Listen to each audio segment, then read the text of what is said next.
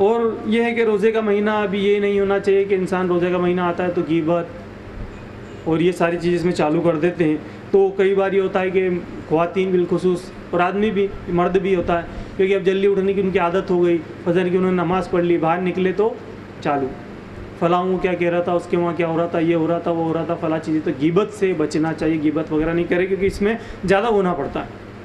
रोज़े की हालत के अंदर। या खुवाती ने क्या उठ गई, अब काम उनका ख़त्म हो गया, अब शाम को काम करना है तो फिर चलो आओ, इकट्ठी बैठ के सेवैयाँ बनाएँगे और पूरे मोहल्ले के भी साथ में खिंचाई भी करते रहेंगे, सेवइयाँ जैसे खींचते भी रहेंगे। तो ये चीज़ें सही नहीं कि इस तरह की वो करें। गिबत ये सारी चीज़ें करना, ये सारी जो ज़्यादा गुनाह के काम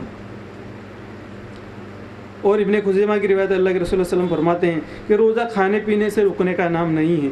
रोज़ा ये है कि बेहुदा, फहश बातों से बचा जाए, उससे रुका जाए और उनसी चीज़ों से बचा जाए और रोज़ा में है कि तकवा इख्तियार करे इंसान। और रोज़ा तकवा भी सिखाता है इंसान।